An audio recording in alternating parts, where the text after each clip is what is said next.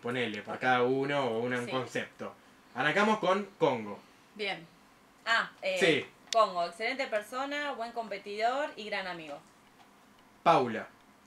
Eh, buena competidora. eh, buena competidora. ¿Fue injusta, crees, la salida de ella? Sí, yo creo que sí, que, que fue injusta. No tengo nada contra ella, no la conozco incluso mucho, pero sí, fue injusta. En un punto merecía quedarse. Pero bueno, la, la vida es así, a veces injusta, se van algunos, entran otros. Pero no, es una buena competidora y creo que es una buena persona también. ¿Lo veis más como traición lo de ella que lo tuyo por parte de Matt? Como que traicionó quizás más a ella que Sí, vos. a ella la traicionó, a mí no, porque no éramos amigos de última. Sí, Bien. Florencia, que ya hablamos un poquito. Florencia. eh, para mí es una de las mejores competidoras. Eh, es, una, es una buena chica. Tiene, tiene valores y códigos. Eh, nada, y aprendí a, aprendí a superar, a superarme y a superar, a superarse ella conmigo, así que nada. Eso. Las mejores vibras, entonces. Sí, obvio. Nico Okiato. Okiato. Okiato me caía bien hasta el viernes que me di cuenta que no tiene tantos códigos o valores como dijo él. Eh, y creo que es el que más hambre tiene de ganar en la competencia. Definime eso, ¿por qué? Porque si no te importara tanto, jugarías diferente, hubieras jugado realmente leal con tus compañeros y sin embargo no lo hizo. O sea, no le importó, jugó sucio y así no sé cómo le va a ir. No, o sea, no, no, no, te, no te gustaría que gane, digamos. No sería justo para vos que gane O sea, o- son pocos los que quedan y van a ganar. Eh, pero creo que no fue lo que demostró. O sea, obviamente es un juego, pero él demostró que era que tenía muchos códigos, que era buen compañero, que él no podía hacer algo así y sin embargo hizo todo porque la estrategia la manejó con, con Matt. Así que eso. Te desilusionó. En un punto sí, porque uno piensa algo positivo, tenés la esperanza siempre de, de mejorar o decir, bueno, se va a poner atrás mío, pero pero no, no, es, es, es un... Creo que igual no hay ningún chico malo en combate, somos son todos chicos que estamos todos aprendiendo y mejorándonos y superándonos, pero bueno, son diferentes y hay diferencias, eso, que marcan la diferencia de cada persona. Matías Ramallo. Mati. Que tuviste también amor y odio en su momento. Sí, fue, fue raro lo de Mati, amor y odio, es verdad. Eh, creo que Mati eh, es, sacando el reality, es un gran amigo. En el reality, por la personalidad de cada uno, chocábamos mucho. Entonces, había muchos roces, había veces que lo quería matar y él me quería matar, y a veces que nos reíamos y decís, ¿qué onda? Ya nos estábamos matando y nos estamos riendo. Pero no, es, es, un, es un chico bueno, divertido.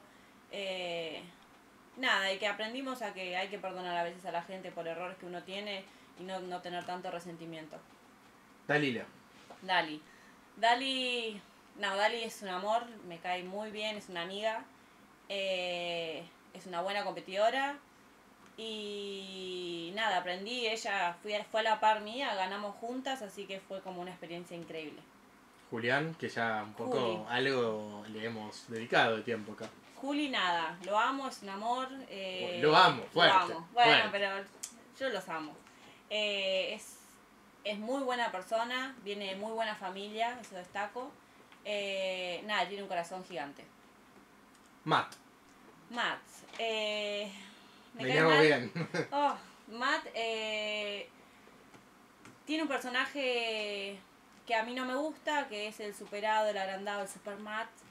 Pero nada, espero que, que le vaya bien en su vida. Nada más. ¿Crees que tiene maldad o que es No, solo no, personaje? no, no, no, es un personaje y en el fondo es medio bobo, así que nada, eh, la vida lo va a curtir un poco capaz. Este, o sea, no te desilusiona capaz como con Nico. No, no, no, Matt es, es para mí, no, no quiero decir la palabra, no, es, es un boludo. O sea, Metáfora. Pero nada, qué sé yo, es, es un es un compa, es un rival. Pongámoslo así, es un rival. Lucas Velasco. Lucas Velasco. Mira, voy a contar algo de Lucas. Al principio yo le decía a él, cuando lo presentaron junto con Leandro, y dije, son los dos iguales. Son los dos iguales. Lucas agarró el micrófono así, medio hip hopero, y dije, ¿qué hace? ¿Qué hacen chicos? ¿Todo bien? Y yo dije, "Ay, no. Digo, encima, o Leandro o Lucas, no quiero ninguno de los dos, dije yo. Y después nada, lo conocí a Lucas y la verdad que me cayó de 10. Me parece un buen tipo, eh, muy buen competidor, me sorprendió. Eh, no, un gran amigo. Sí, sí. Con Delfina tienen como un lindo grupo, ¿no? Sí, Delphi juntos. también es una genia, es un amor. Sí, la verdad que no me puedo quejar, este equipo que me tocó este año estuvo increíble.